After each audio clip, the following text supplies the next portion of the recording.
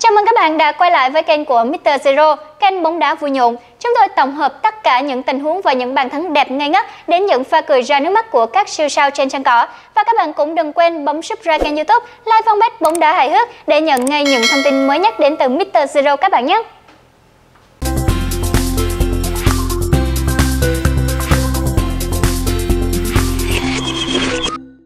Bóng đá không chỉ là môn thể thao dành cho cánh mày râu mà các bóng hồng cũng cực kỳ ưa chuộng môn thể thao vua này đấy. Sau những pha làm bàn đẹp mắt là màn ăn mừng khoe cơ bắp của Ronaldo, những cái hôn nhẫn của Raul hay tạo hình trái tim đặc trưng của Gareth Bale.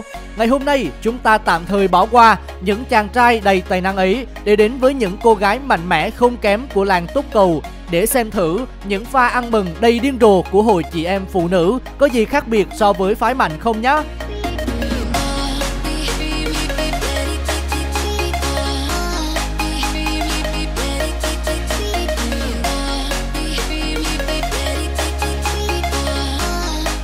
Đâu thua kém gì các chàng trai, các cô nàng của chúng ta cũng có những pha ăn mừng cởi áo cực sexy đấy thôi. Sau pha ra chân hạ gục thủ môn đội bạn mở tỷ số cho trận đấu, nữ cầu thủ số 30 này đã có màn cởi áo khoe body cực nóng bỏng, ăn mừng với đồng đội trước mặt các cổ động viên có mặt trên sân.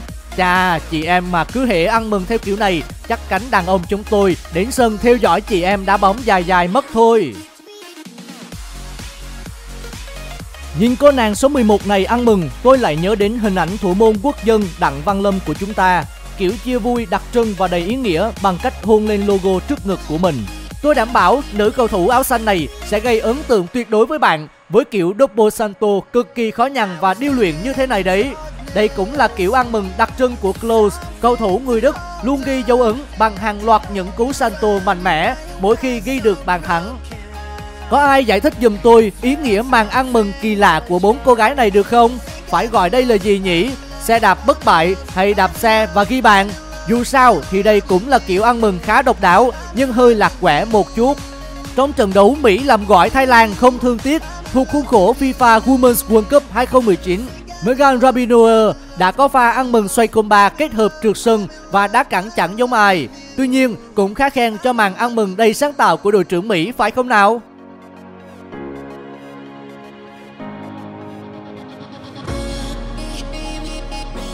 Sau pha đánh đầu ghi bàn, nữ cầu thủ số 20 đã chạy về góc sân và có màn trượt chân trên cỏ để ăn mừng với đồng đội. Đây là kiểu ăn mừng đặc trưng trong bóng đá. Còn xa xa về phía khung thành đội mình thì thủ môn áo xám cũng đang hưởng ứng bàn thắng đấy bằng kiểu nhảy chim cánh cụt tập bay trắng.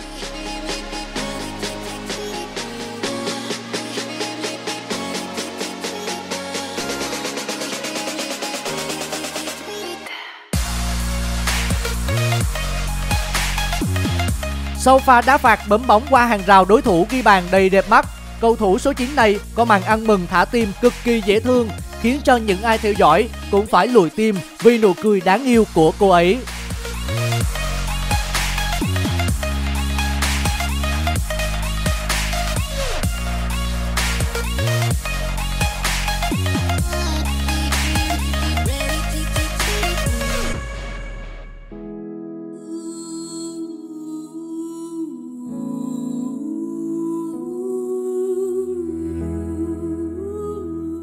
Những cô nàng áo sọc này đang ăn mừng bàn thắng bằng điệu nhảy Black Bucket hay Floss Dance.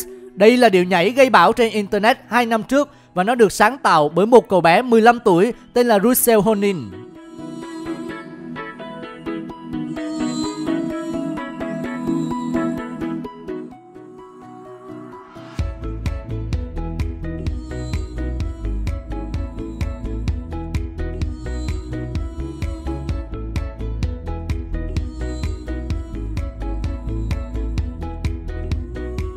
Ái cha cha, màn lắc mông điệu nghệ của cầu thủ số 4 này đúng thật là làm nóng mắt khán giả quá đấy. Cuối màn trình diễn, hai cô gái của chúng ta còn tặng thêm cho khán giả màn ăn mừng đáp với kiểu cúi đầu xuống, giơ khuỷu tay và cánh tay lên cực chất. Nhìn cái cách ăn mừng trên sân và vẽ cánh thiên thần trong tưởng tượng của những nữ cầu thủ này, đâu đó khiến chúng ta liên tưởng đến hình ảnh của Elsa và Anna trong Frozen phải không nhỉ?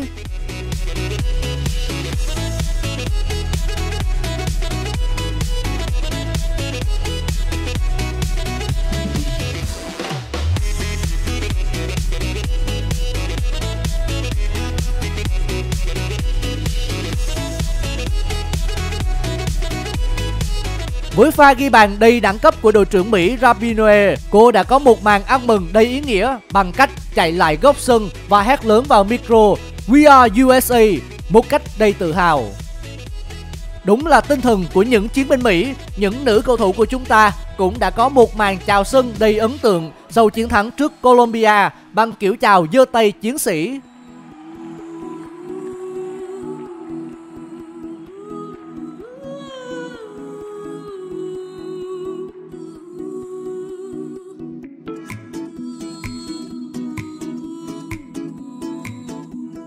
Hay kiểu, ăn mừng theo phong cách người vượng của cô nàng cầu thủ số 9 và đồng đội của mình cũng khá là sáng tạo, phải không nào? Đúng là những cô gái của chúng ta cũng đâu thua kém gì các chàng trai đâu.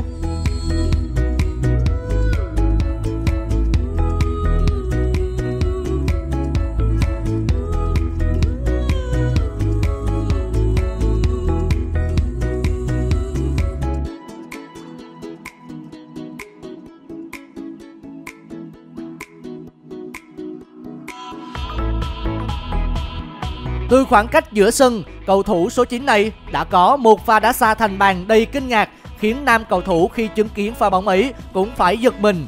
Pha ăn mừng của cô nàng cũng rất đặc trưng với màn trượt gối trên sân và hét lớn đầy mạnh mẽ. Đừng nghĩ phụ nữ sinh ra là để yếu mềm nha.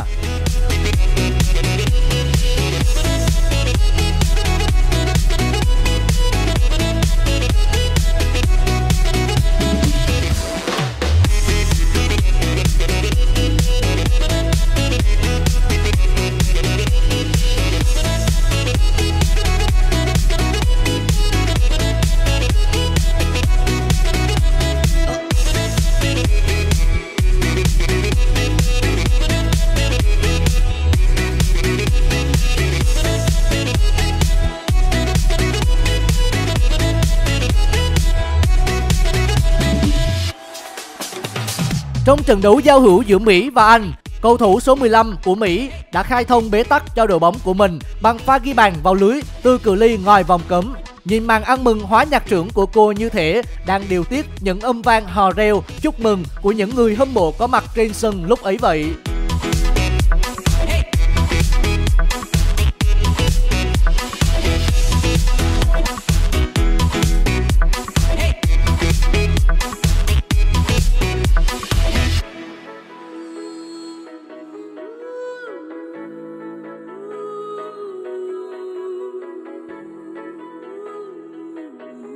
Trong trận đại thắng của Mỹ trước Costa Rica vào phút 44, Megan Robinue đã có pha ăn mừng dương tên bắn thẳng đầy mạnh mẽ trước bàn thắng đầy ngoạn mục, nâng tỷ số trận đấu lên 5-0.